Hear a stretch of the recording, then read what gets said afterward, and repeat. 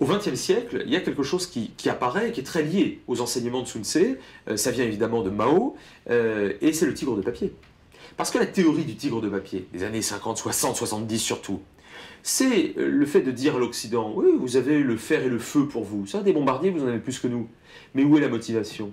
Êtes-vous prêt à subir autant de pertes que nous autres nous sommes prêts à en subir? Alors vous rugissez beaucoup, mais en réalité, qu'est-ce qu'il y a derrière? Et puis c'est pas tout. Mao disait aux Occidentaux, vous êtes prêts à euh, perdre moins d'hommes que nous, mais en plus de ça, vous n'êtes pas prêts à supporter les pertes et les souffrances que vous nous infligez.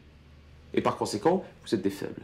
Et on voit bien depuis les années 60, 70, 80 que l'Occident est dans ce qu'on appellerait, dans une phase qu'on appellerait zéro mort on essaye d'éviter le plus possible les pertes à la guerre. Les opinions publiques ne le supportent plus. Or, dans une dictature comme celle à l'époque évidemment de Mao, il n'y a pas d'opinion publique. Mao décide d'envoyer tant de millions d'hommes à l'abattoir s'il en a envie. Bon.